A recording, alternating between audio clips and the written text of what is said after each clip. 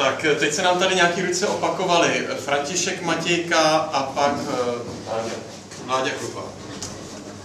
Tak všichni máme eh, možnou profesní deformaci, takže já jsem z té vaší odpovědi na moji otázku pochopil, že jsem se zeptal blbě. A tak to zkusím napravit a zjednodušit. Existuje v historii politik eh, zasazený do kontextu té doby, který vám ladí, který prostě stojí za to, aby jeho člověk měl v paměti? Děkuji.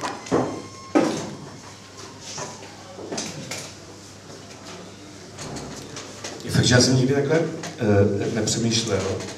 Mě, mě, když, ne, ne, ne, ne blbě, to já jsem spíš blbý, jo, protože uh, to ne blbě, to je normální, běžná, standardní otázka, ale já když dostanu rovnou otázku, třeba co se týče Big Beatu, jaký jsou moje vzory, tak řeknu, já nevím, no tak největším vzorem třeba co se týče projevu na pódiu, tak jsem já před 20 lety.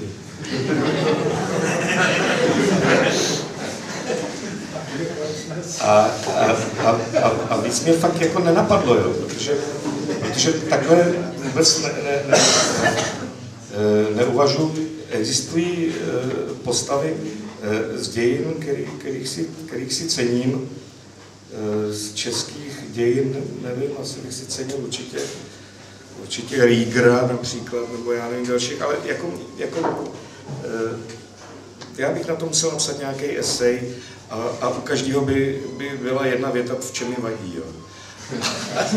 A, a, takže proto jsem se jako do tohle nikdy nehrnul. Já jsem strašně rád, že, že máme eh, na koho navazovat a od koho se odvozovat a, a, a hluboce si cením uh, určitých lidí, ale že bych si někoho takhle uh, vybral, uh, těžko říct, stejně mlátil svou ženu určitě. Uh, Láďa Krupa, pan Hartmann, Karina Franková potom.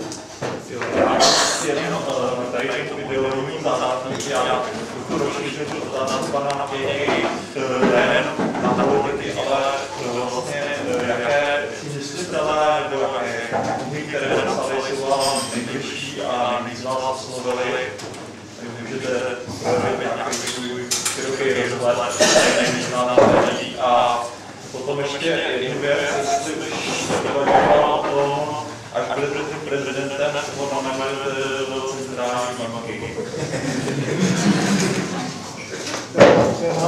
Je otázka. Na druhou e, otázku povím, ano, uvažoval. Ano, mám, mám těch sedm jmen už napsaných. Ano, ano e, máme napsaných eh, a to je jasný, že vám je neřeknu, protože eh, to by někdo odsud odnes a ty lidi by skončili. Eh, některý z nich možná i hned odejít. A co se týče, no víte, já jsem člověk, který má za sebou své nesnesitelné intelektuální období. A já jsem živý příklad toho, že se to dá léčit. Vypadalo to, že, že, že to nejde, jo. Ale představte si opravdu situaci, já nevím, těch 80. let a představte si takový ten typický, takový ten nafoukaný intelektuální underground. Jo. To, to jsem přesně já. To, jo. Takový to jako eh, to ohromování těma encyklopedickýma Eh, schopnostma z, z té hospody čtvrtý skupiny a, a, a ne, ne jako vědomostma ze čtvrtý skupiny, vědomostma opravdu, ale v té v té hospodě, jo. v té hospodě se tím vytávat a, a tak dále. Čili, čili eh, tohle, tohle přesně, tyhle ty přesně vzorce já mám v sobě, proto taky s těma lidma umím mluvit a, a myslím, že je umím docela dobře ničit, jo. protože protože jsem jako konvertoval od nich a, a, a, a, a, a vylečil jsem se z toho. Takže já takový ty, takový ty úvahy prostě nad, nad těma filozofama sice asi jako e, vést umím, ale za rohem bych si tady musel střelit facku. Jo. A, a, ale, ale, ale dobře, nebudu se tomu vyhýbat a jednu věc řeknu. E, pro mě e, A je to zároveň odpověď na asi šest otázek, které už dneska padly. Včetně takového toho různého spojenectví nespojitelného a, a, a tak dále. E, ano, je možný, že můj přístup věci spojuje dva, dva nějaký základní e, přístupy k věci. A myslím, že myšlenka, myšlenka, myšlenka e, Adama Smise o neviditelné ruce trhu je jedna z nejúžasnějších, která vůbec kdy mohla inspirovat člověk. E, když umřela, když umřela Olga Havlová v roce 96, a já fakt si nejsem úplně jistý, jestli budu teď pochopený, ale řeknu to e, tak, jak, jak to tehdy bylo. A hodně to, to, co teď řeknu, vypovídá o, o mým nějakým ideovým zázemí, proč říkám to, co říkám e, celý život. E, tehdy, to bylo v lednu, byla hrozná kosa a vytvořila se šíleně dlouhá fronta kondoleční kolem hradu a lidi tam prostě mrzli v té frontě, čekají tam mnoho hodin. A tehdy napsal glosu do Lidových novin Páter Halík a napsal um,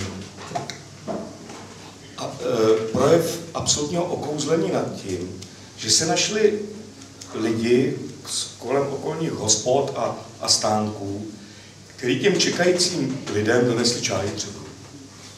A on k tomu dodal. Vedeni pravděpodobně jinou neviditelnou rukou, než neviditelnou rukou trhu. Toto napsal. A já jsem si ho přečet a s úžasem jsem zjistil, jaký tady panuje ohromný, strašlivý, tragický a bolestný nepochopení. A napsal jsem glosu. Jejíž nejdůležitější věta byla, a zároveň je skoro taková nějaká, skoro i moje životní krédu, já jsem napsal, víte, pane Pátere, ty obě ruce vyrůstají z jednoho těla.